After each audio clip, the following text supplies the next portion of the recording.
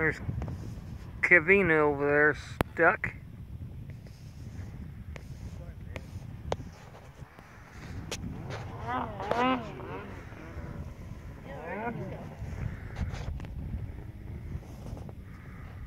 Right where Matt's going down right now, there's a deep little valley ravine in there. Oh yeah?